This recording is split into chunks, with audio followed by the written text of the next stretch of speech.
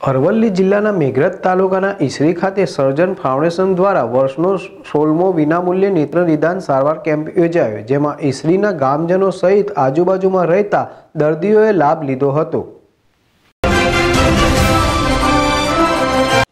મેઘરજ તાલુકાના ઈસરી ખાતે આવેલ એનયુબી હોલા પીયુએમ હાઈસ્કૂલ ખાતે સર્જન ફાઉન્ડેશન અમદાવાદ આયોજિત વર્ષનો સોરમો વિનામૂલ્ય નેત્ર નિદાન સારવાર કેમ્પ યોજાયો હતો. જેમાં ઈસરી ગામ સહિત આજુબાજુમાં રહેતા ગામોમાંથી કુલ આઠસો પાંત્રીસ દર્દીઓએ સેવાનો લાભ લીધો હતો અને પાંચસો પંચોતેર વ્યક્તિઓને રાહત દરે ચશ્માનું વિતરણ કરવામાં આવ્યું હતું.